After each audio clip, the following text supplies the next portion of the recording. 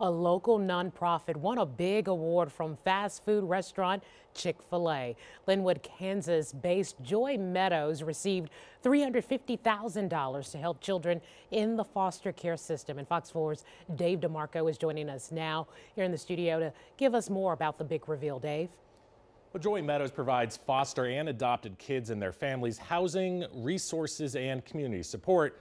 Now they're getting some big financial support of their own.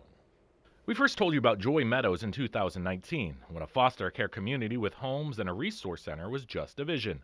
It stemmed from Sarah and Justin Oberndorfer's time as foster parents during a time of crisis in the state of Kansas. Where there were kids moving homes, one night placements, kids sleeping in offices. We already had seven or eight kids in our home and would still get the call every night for more children. This is that campus five years later, where Joy Meadows impacted 6,500 foster care kids and their families on site last year. Their work caught the attention of a Lenexa Chick fil A operator, who nominated them for a True Inspiration Award. There was online voting, and they were named regional finalists. Then, the day before Joy Meadows' on site Christmas party, Chick fil A called and said they wanted to decorate for the party and provide lunch for the staff. When we got to the luncheon, a big cow came out along with a giant check, and they announced that we weren't just a finalist for that grant application that we had done, but we were actually the national winner of the award. It's my joy and honor to tell you that you've been selected to be the S. Truett Cathy honoree.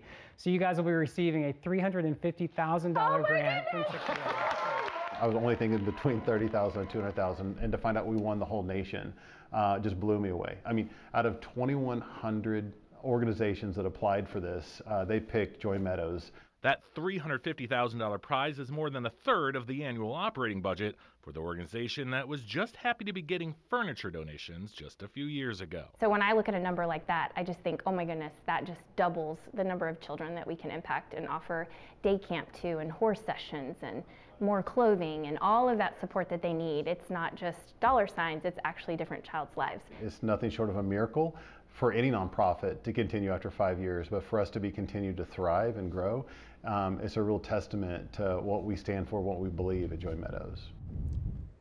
51 nonprofits in the U.S., Canada, and Puerto Rico received more than $5 million in grants. Congratulations also go out to Youth Volunteer Corps of Kansas City, which was a Midwest regional winner. Well, congratulations. It's an awesome opportunity. Thanks, Dave.